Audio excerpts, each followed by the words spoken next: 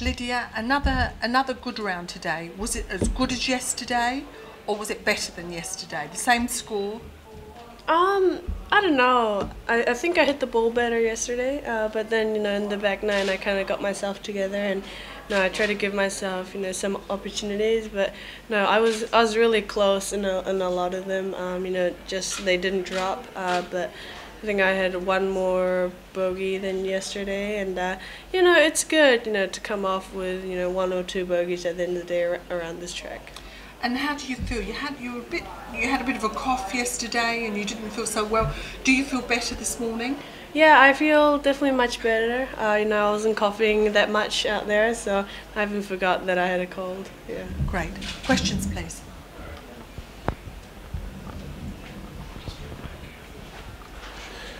Is it on? On? It's on. Lydia Karrie said yesterday she expected the course to get incrementally more difficult with each passing day. Did you notice any difference in the course today to yesterday? And what sort of strategy changes perhaps if it does get firmer and faster?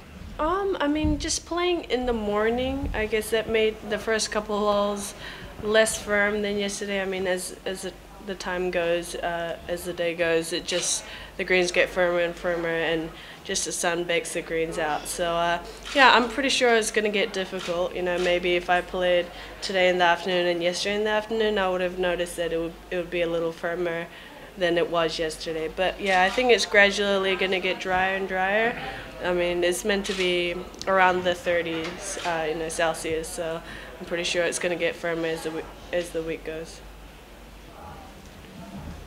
Lydia, could you talk us through your eagle on 15, yardage and style of shot and all that sort of stuff? Um, you know, I made an eagle on 14 yesterday, uh, and then, you know, just I was angry that I came off with a par today. Uh, you know, I felt like it was a, it was a hole that you know I could easily come come off with a birdie, but so I was kind of angry, and that kind of anger led me to hit an aggressive drive uh, on the 15th, uh, and you know I was on the left half, I guess left edge of the fairway, and you know I had it like 136 or something like that, and uh, I, I said eight could be a little long, so I decided to punch a nine iron, and it landed just left of the pin, and the mound kind of feeded it right to the hole. Yeah.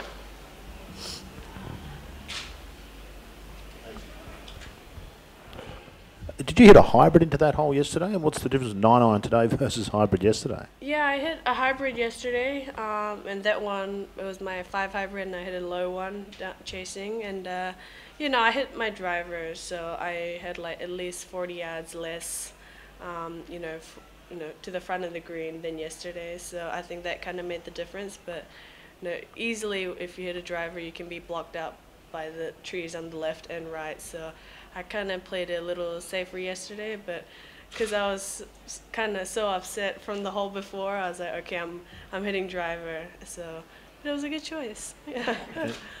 Do you like the style of golf that Royal Melbourne presents, Lydia? Some of the players don't. It's different to what you play most weeks in America, most say. Do you like the style of golf here? Do you feel it suits you?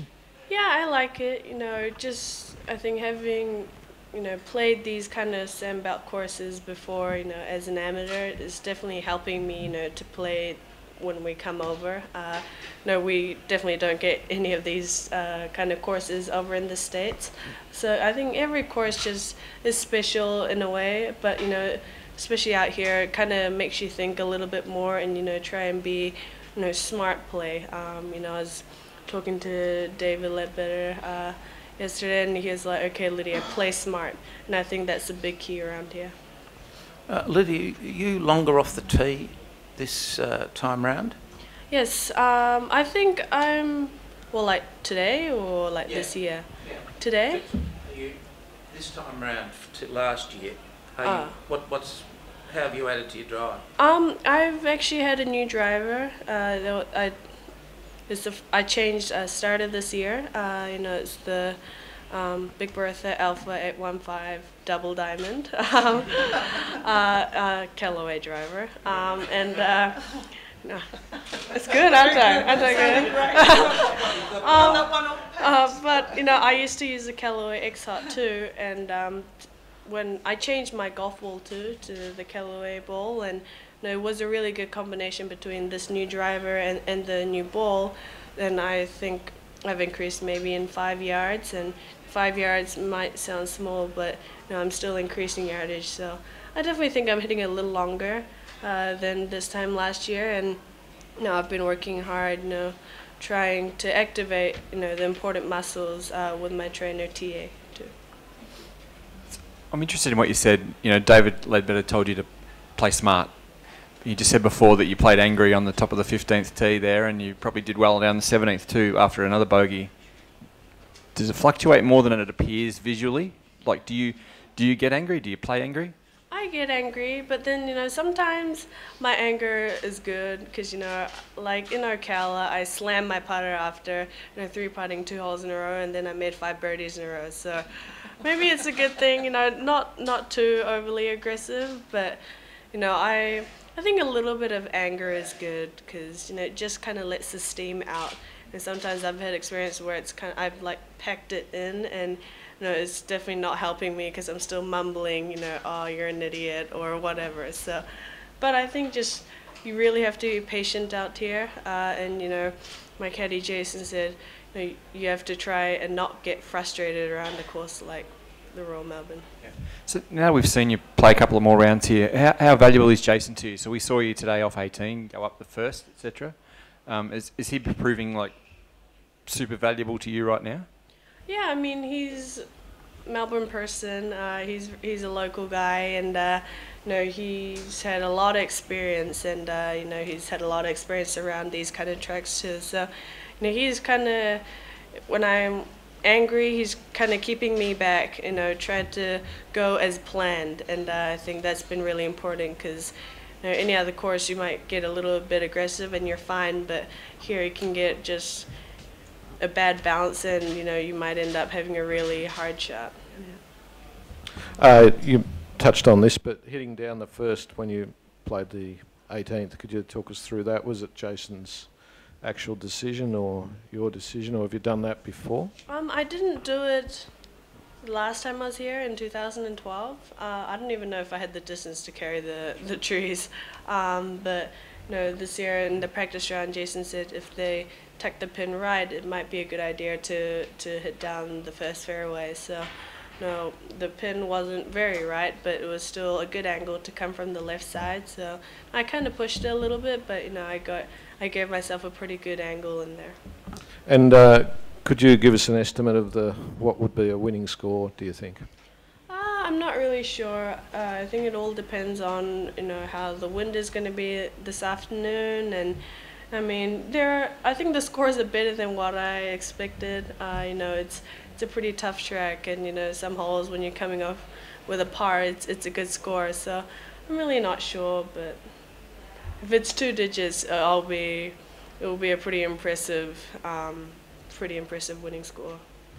Can I ask you about one specific shot? You pulled your second into the third, just above the bunker. Then you had to play the flop shot. How often do you play that shot? And that well, you, you look like super happy with that one.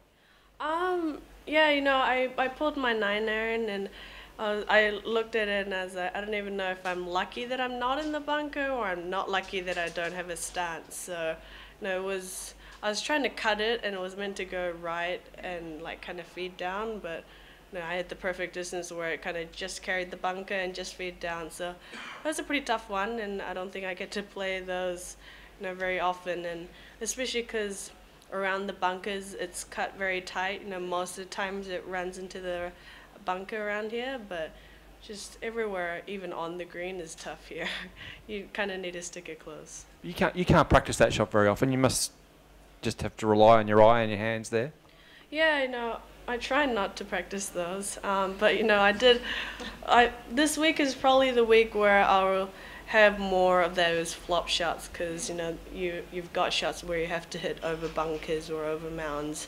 So I mean it's tough, you know, off tight lies, but luckily you know I was in that kind of rough, so that made it a little easier.